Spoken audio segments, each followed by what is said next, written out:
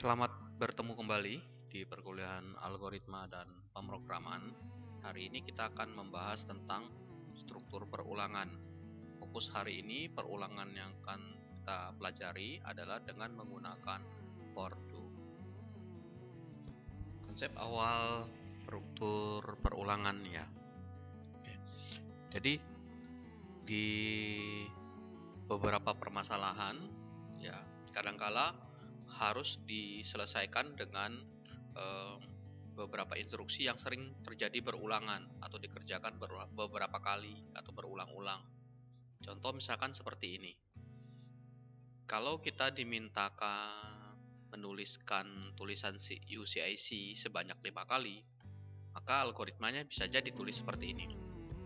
Write UCIC, write UCIC sebanyak lima kali outputnya sih akan menampilkan tulisan UCIC sebanyak lima kali.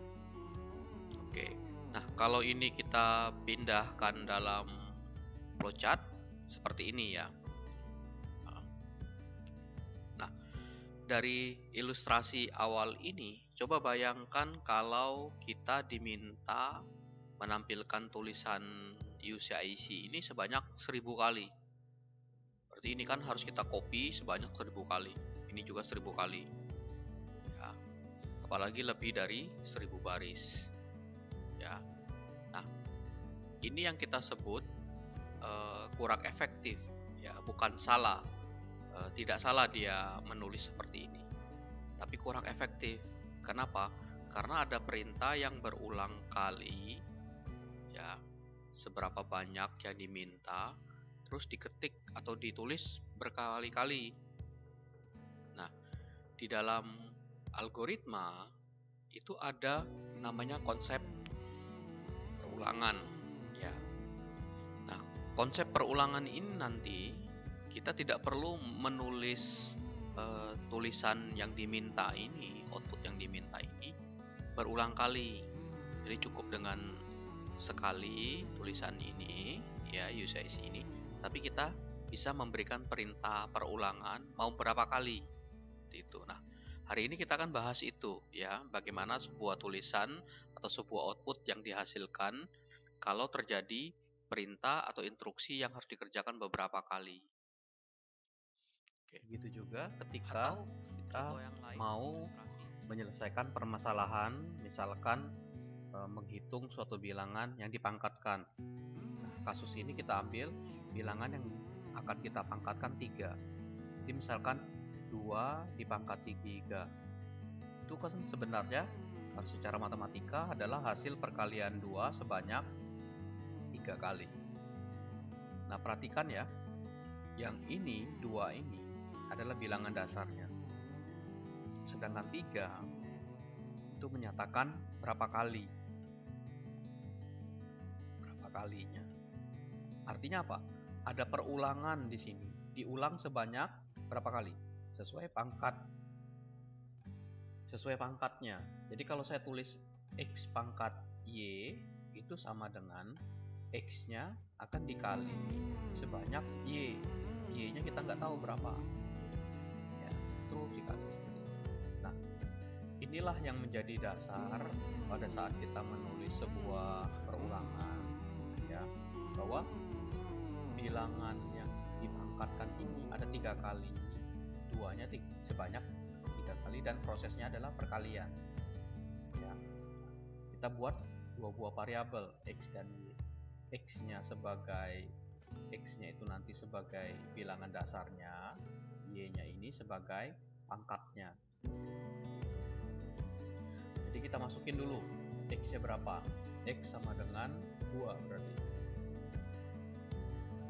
kemudian y nya di set 1 pertama kali. Kemudian y sama dengan x dikali y. X nya berapa? x nya 2 tadi. Y nya 1 2 dikali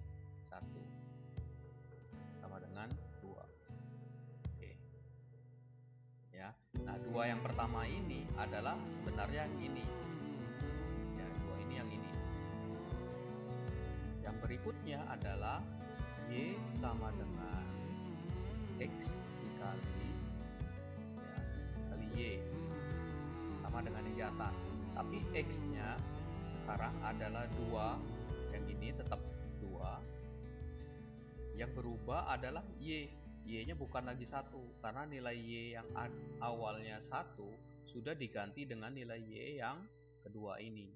Maka Y yang kedua adalah 2. 2 dikali 2 sama dengan 4. Nah, 4 ini adalah hasil perkalian dari 2 dikali 2 yang awal.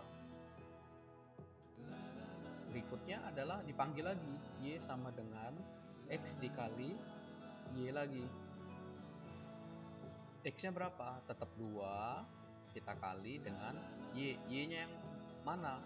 Y-nya sekarang yang ada yang kedua ini. Bukan Y yang awal lagi. Ya. Nah, Y yang kedua adalah eh, 4. Yang ketiga, sorry, yang ketiga ya. Y pertama, Y kedua, Y ketiga. Y ketiga adalah 4. Hasilnya adalah 8. Nah, 8 ini adalah hasil perkalian 4 kali 2 atau 2 dikali 2 dikali 2 sama dengan 8 nah ini 8 dicetak hasilnya. Jadi 2 pangkat 3 itu isinya adalah 8 begitu juga untuk kalau misalkan eh, bilangan yang lain 4 pangkat 5 ya 4 pangkat 5 jadi ini harus kita copy. Ini kan baru pangkat saat untuk pangkat empat kali. Yang ini empat kali satu. Ya sama dengan empat. Jadi ini empat nanti dikali kali empat. Baru yang kedua di sini. Ya 16 sorry 16 di sini 4 dikali 16 baru 3 berarti kalau kita mau 5 berarti ini kita copy dua kali. Y sama dengan X dikali Y. Tambah lagi di bawahnya. Y sama dengan X dikali Y terus seperti itu dilanjutkan. Atau algoritma ini ya, bisa kita tulis dengan bahasa biasa seperti ini.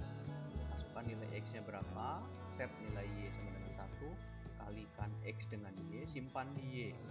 Kalikan x dengan y simpan di y.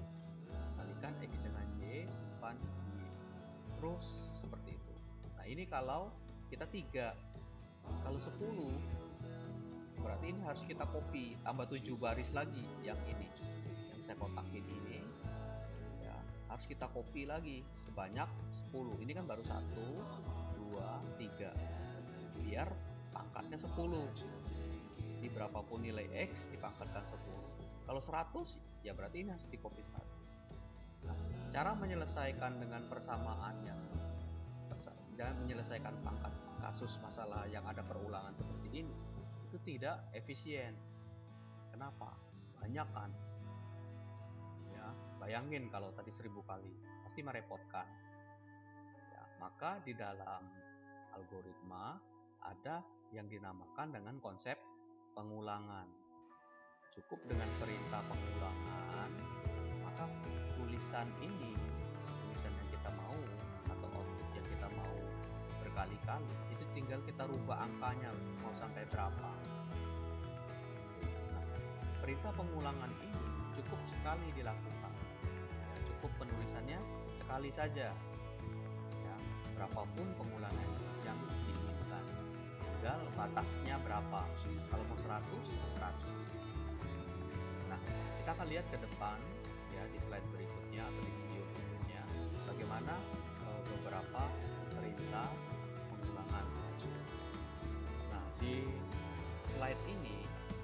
kita akan lihat uh, beberapa ekspresi pengulangan yang sering dipakai, yang sering digunakan. Ya. Yang pertama, for do. Fokus kita di video ini adalah membahas tentang penggunaan for do. Kemudian di next video kita akan bahas tentang while do dan repeat until. Oke. Nah, yang pertama tentang for do. For do ini perintah pengulangan yang cocok untuk pengulangan yang sudah jelas nilainya. Misalkan tadi tampilkan tulisan UCIC sebanyak lima kali. Nah, sudah jelas dia nyebutinnya lima kali.